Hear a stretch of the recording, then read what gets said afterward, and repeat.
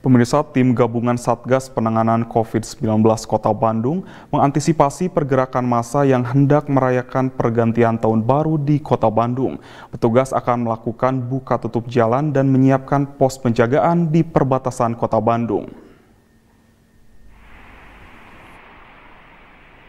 Dinas Perhubungan dan Satuan Lalu Lintas Polrestabes Bandung melakukan penutupan dan penyekatan beberapa ruas jalan di Kota Bandung mulai tanggal 31 Desember. Langkah tersebut dilakukan guna mengantisipasi terjadinya pergerakan masyarakat dari luar Kota Bandung yang hendak menikmati pergantian tahun di sekitaran pusat kota. Hal tersebut sebagai upaya memutus mata rantai penyebaran COVID-19 di kota Bandung dan menekan kerumunan yang dilakukan warga di setiap ruas jalan dan pusat kota. Pos pengamanan dan penyekatan tersebut dilakukan di perbatasan kota Bandung, serta penutupan jalan di pusat kota yang akan mulai diberlakukan mulai sore. Kepala Bagian Operasional Satlantas Polrestabes Bandung AKP Dodi Kuswanto mengatakan, perbatasan jalan tersebut akan dipantau.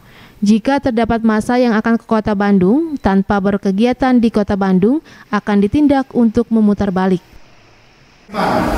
Itu ring 3. Pelaksanaannya sama waktunya direncanakan 18.00 sampai dengan 05.00. Sifatnya itu bukan penutupan total kalau ring 3. Kalau ring 1 dan ring 2 itu total.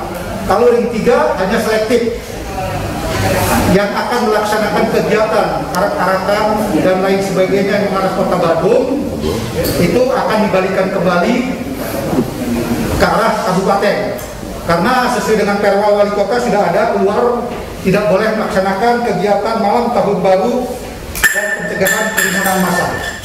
Rencananya dalam pengamanan malam tahun baru, pihaknya akan menyiapkan 500 petugas gabungan baik dari Dinas Perhubungan dan Kepolisian Lalu Lintas. Yuwana Kurniawan, Bandung TV.